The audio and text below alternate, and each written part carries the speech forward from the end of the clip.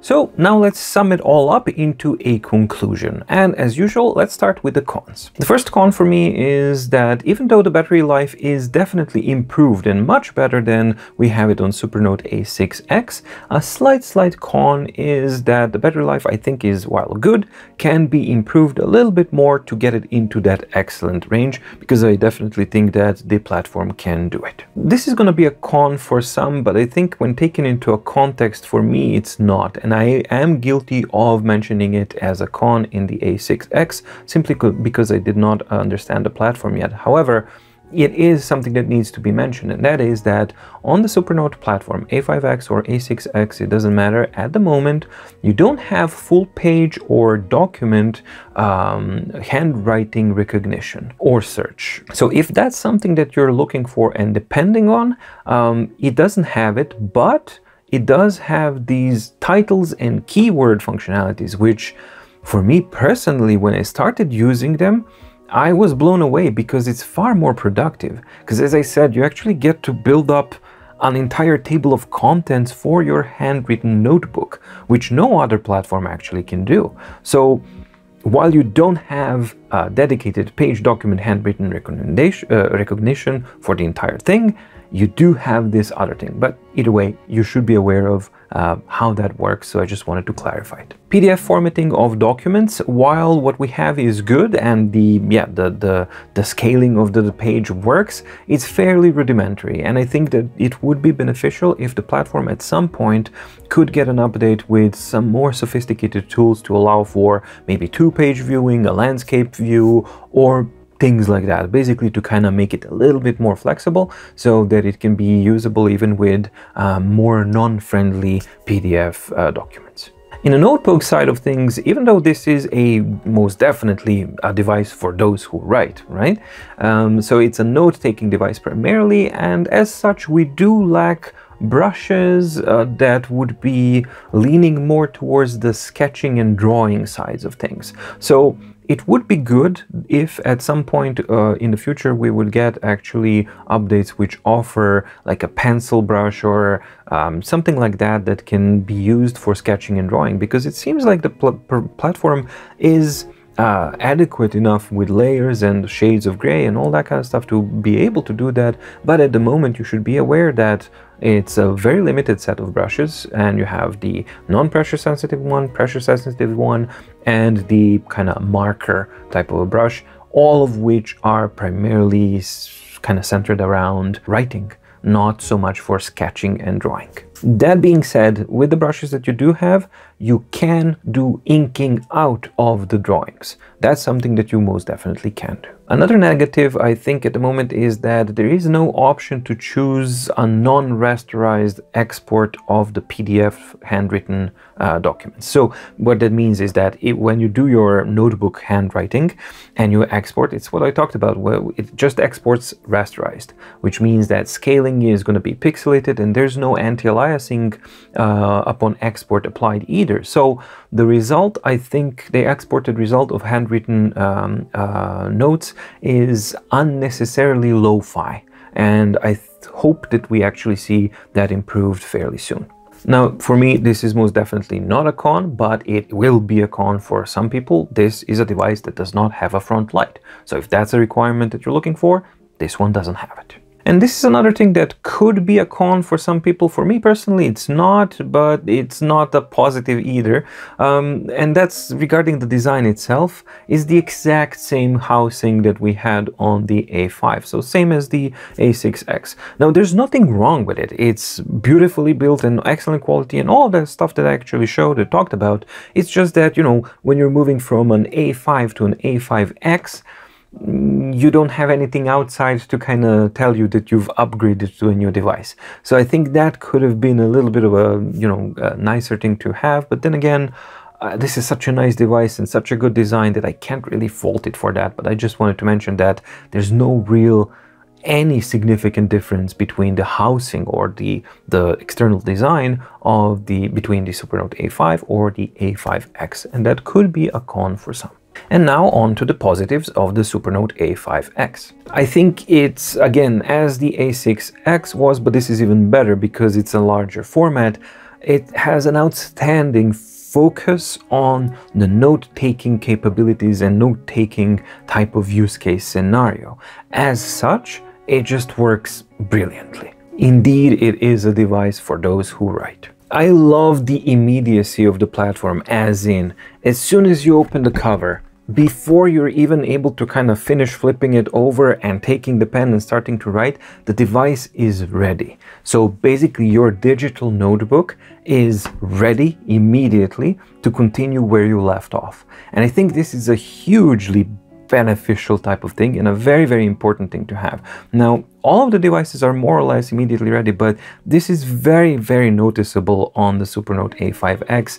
Not just the performance, but everything around it. When you click uh, to create a notebook, you can set up your default template and it just bam, you're there. It's immediately ready. You click on plus and your notebook is there and you start writing.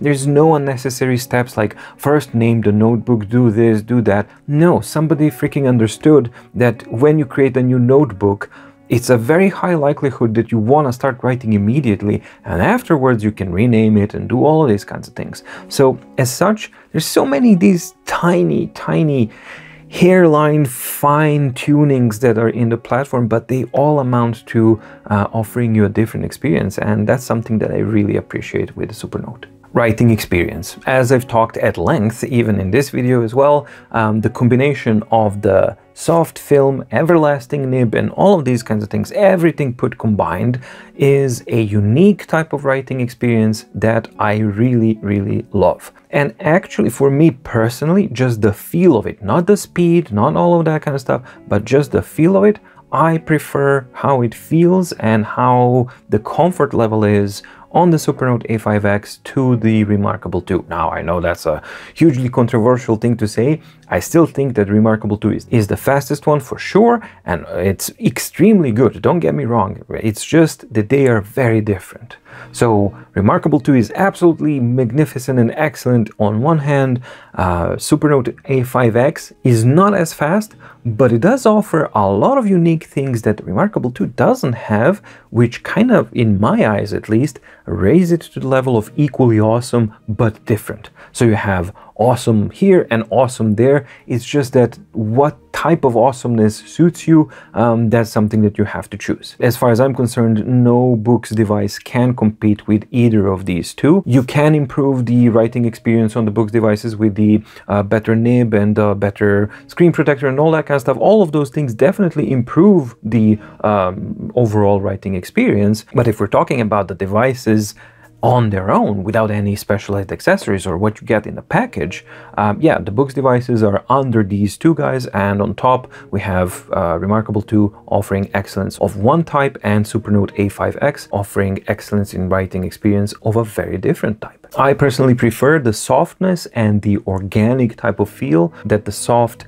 screen surface and the hard pen actually offer on the Supernote A5X, but this is going to be super individual and super subjective, so it's going to vary between individual, from individual to individual. Now, something that I really do love is that, um, yeah, either of the pens that you actually choose, whether it's the standard pen, Heart of Metal, or the Lamy uh, Star pen, all of them offer exceptionally good quality, comfort level, and level of precision. So you can't go wrong with either of them, but check out the pen section in the video to get out the specifics so that you see which one works best for you. But as far as default pens go, it's a no-brainer. I mean, Supernote offers the absolute best default pen package from any of the competitors. As a device for prolonged type of use, it's very comfortable and easy to use for uh, prolonged testing, especially the one-hour writing test. Usually by the end of that hour, it's like I'm fatigued and I have some kind of discomfort in my hand.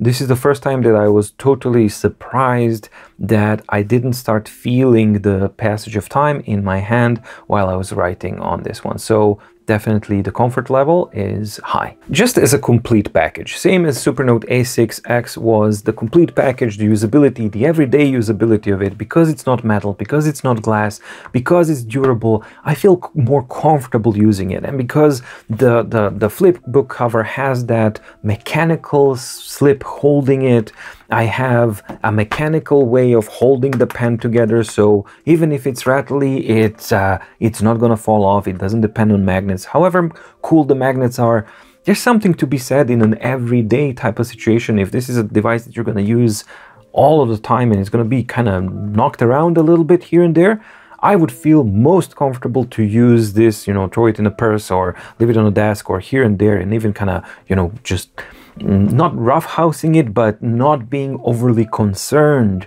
what's going to happen, where's going to be the pen, if the pen drops, is it going to break or anything like that. No. So it just is like an everyday uh, kind of powerhouse, workhouse type of a digital notebook. Um, yeah, really, really cool. Newly added functionalities such as ability to create Word files directly in the device. For me, that's a big deal because you can do things that you normally can't on these types of platforms. Even on Boox, you have to download a dedicated uh, app and then you have to install it and then you have to go to the app and all that kind of stuff. Functionality is there on Boox for sure. And probably the formatting is better uh, depending on which app you use, all that kind of stuff. Then again, those apps usually have uh, ads and interruptions and communications that you might not want to have or anything like that. This guy, nope. You click the plus sign and it says, do you want to create a notebook or a new Word file? Uh, really really cool. And i hope that they expand on the functionality of it to get more um, integration with the keyboard like control and arrows to kind of switch between words control shift to kind of select to have kind of option on the selections on formatting and all that kind of stuff. Maybe it will come over time and with Ratta that's definitely something that we can expect. Addition of the Kindle app. I mean, if that's not a pro, I don't know what is, because you have PDFs, EPUBs, text, Word documents, and Kindle, um, yeah, your own Kindle account all in the same device. Customizability and uh, personalization options. This is really important to me, and I keep kind of mentioning it. And for me, it really, really works well on the Supernote platform. They've nailed it because it's accessible, it's very easy, it's logical, there's no learning curve to it if you want to make a template, you put a template into my styles and that's it. It just is there.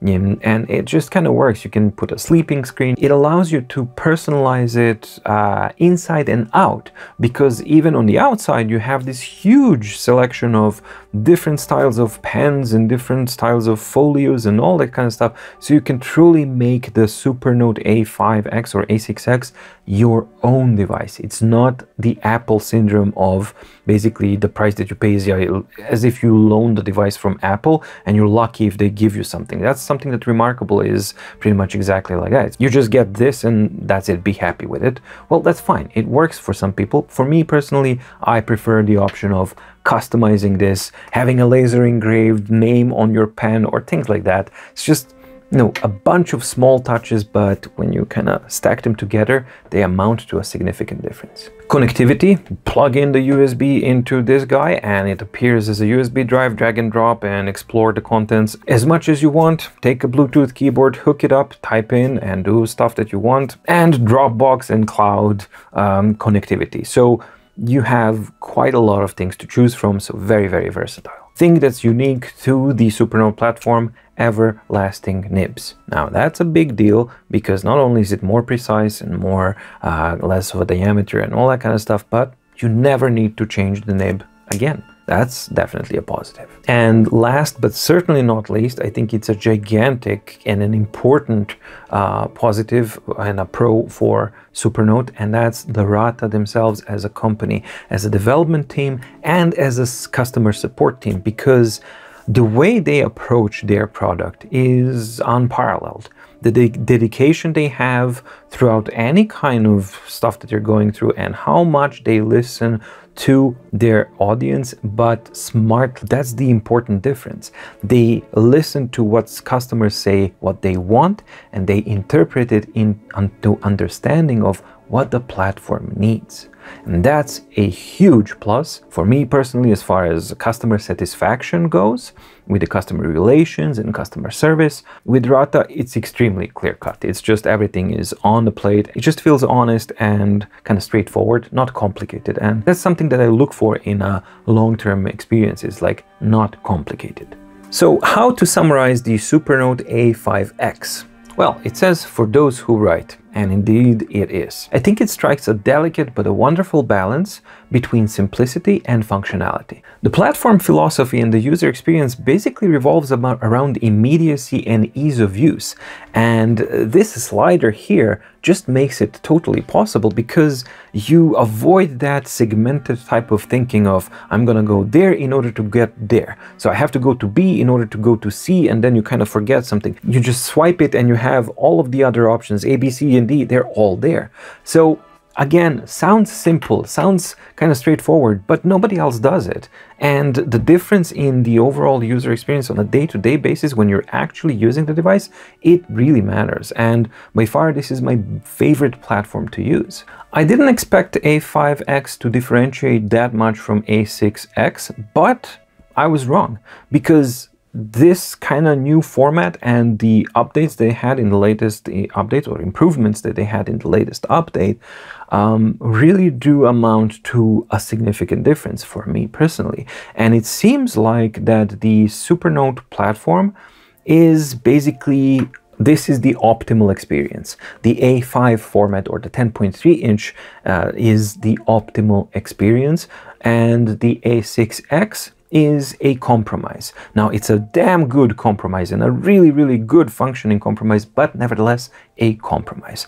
It's not all rosy, but it's continually getting better. Each time I say it's not all rosy, some of the things from that list got, just get ticked off, and uh, things get rosier and rosier with the uh, Supernote platform. And that's the, the awesome thing about Ratta. So, things that can and we can definitely expect from the platform to be improved, because don't forget, this is a pre production unit and a beta software. So, you know, it's absolutely mind blowing that already now it's in this type of a state, which is really tight and precise. But the best thing is that all of these things that for me like are not rosy, they're software improvements. So um, that combined with Ratta's outstanding uh, reputation for supporting their product and supporting their customers is something that is quite reasonable to expect that most of it is going to be improved or fixed or expanded even further in the future at $449, which is now the price for pre-ordering this one. You get the device, you get a standard pen, and you get the flipbook cover, not the leather one, you get the canvas one, which is actually the one that I prefer, but then again, depends what you want. That is a very competitive price for a 10.3 inch device that is competing with, let's be honest, Remarkable 2 and the Note Air and the Note 3. Um, the full price is after the January 14th is going to be $499 and also this pre-order price depends on if you get a Heart of Metal pen or a Lamy pen and all that kind of stuff. So check out the website so that you can see I think it ranges from 449 for the cheapest pre-order option to 509 to the most expensive option and the most expensive one being the one with the Lamy pen. That price, unlike the Supernote A6X, which I think was and still is a little bit too pricey, this is not. This definitely sits very aggressively and really, really comfortably in the marketplace of the 10.3 ink devices and uh, yeah it's uh, it, it's here and it's here in a big way so yeah even at 499 something that i think the product is worth but at 449 it's uh, it's a really good deal. If you're looking for uh, primarily a note-taking device which has perfectly capable and usable and powerful reader capabilities and some simple text editor capabilities and ability to integrate into your workspace easily, such as Dropbox, USB connectivity, email, Kindle, all that kind of stuff, then I think it's uh, it's a hard one to beat, to be honest, simply because it just does uh, primarily as a note-taking device, if that's your thing that you're looking for, it just does a lot of things right. And they keep doing it even better and better and better. So It's comfortable to use, it's really fast to get to where you want to go. Uh, it's an easy learning curve. It's very precise when writing. Yes, some improvements are needed for the exported results, but it's very reasonable to expect that this is something that's going to happen fairly soon. Uh, the pens are outstanding. The pressure sensitivity is outstanding. The nibs are everlasting. If that's what you choose it's an everlasting nib. That's uh, that's a big deal. And then you have that newly added ability to add the titles keywords and bookmark your notebook pages and effectively build table of contents for your written notebooks, which no other competitor has. And for me, that's the winning combination. So as a note-taking device, as far as note-taking functionalities go, um, yeah, this, this uh, surprisingly, I didn't expect it, but this is my preferred device. Also, because of Ratta as a company, this device, Supernote A5X, this is a pre-order unit, as I said, in a beta software. So it only has a potential to get more powerful, more efficient, more faster, and more, you know, versatile and all that kind of stuff. And yeah, those are important things to keep in mind. So one of the main questions that uh, most of the viewers now are going to be deciding before January 14th, before the pre-order stops, is like, okay, dude, it's all great, but which one do I choose? Remarkable 2, Supernote A5X, or the Boox Note Air or Note 3? Well, that's a tough one. I don't have enough time. I didn't have enough time to actually do the in-depth guide or anything, uh, let alone the comparison videos before the 14th. But I do want to give you my personal subjective impression regarding how these three devices, these three key players are comparing to each other and where does the Supernote A5X uh, sit in this combination for me personally. Uh, just please keep in mind that this is going to be different from individual to individual. So this is just my subjective impression. So for me, it goes like this. Supernote A5X is the best for a note-taking type of priorities with secondary functionality that you need for e-reader functionalities and some other uh, really good functionalities to slot in the, the, the platform into your existing workflow. Boox platform, Note Air and the Note 3 would be the other way around. If your priority is an e-reader type of capability, so reading, marking up documents and handling all that kind of stuff with some note-taking, also very capable note-taking, but secondary purpose is note-taking, an extremely versatile type of environment device that you can install different apps and you can hook it up to whatever you want. You can cast the uh, screen to it, you have the front light and all that kind of stuff. Then the Boox Note Air or Note 3 make more sense. And finally, Remarkable 2, for me personally, makes most sense for those who are looking to sketch and draw primarily. So if sketching and drawing is your priority, Remarkable 2 is most definitely going to perform the best because it has by far the most sophisticated brushes, especially with the tilt sensitivity and all those kinds of things. Definitely best set of tools and brushes from these three. Hopefully this kind of crash course comparison helps you a little bit when deciding whether or not Supernote A5X is the device for you or not. The bottom line for me as far as Supernote A5X goes is this, for those who write. They've said it best, and I absolutely concur.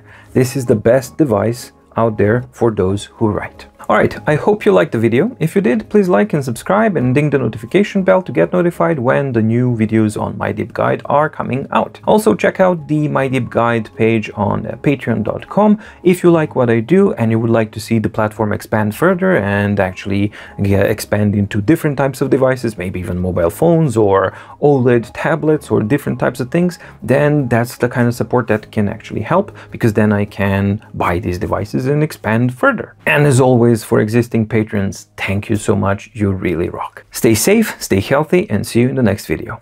Bye!